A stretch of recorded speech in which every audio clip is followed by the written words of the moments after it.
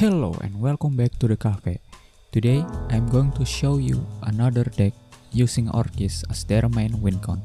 But before that, I want to discuss last week deck and the reason why you probably should not make that one. So, this is last week deck. It's an okay deck. You might win some game with it. But there is one big problem. Three of the cards in here will rotate in a month. Now, if you're new or don't have all of them, crafting this card is a bad idea. Which is why you should use this one instead. So, this is a list made by Turuokakamo, another Shadowverse channel on YouTube. Credit goes to Tom for making this list. Now, compared to last week, only Lokoko going to rotate next month, and even then you can change her with another removal, like Slash of One and something like that. Because of that, this is a better investment if you want to try Orchis. Now, the main idea is basically keep Evo for Orchis entry at all costs. This deck has a lot of reactive play, so you should have easier time saving your Evo. Now, with that said, please sit down and enjoy this gameplay, and I'll see you on your next visit.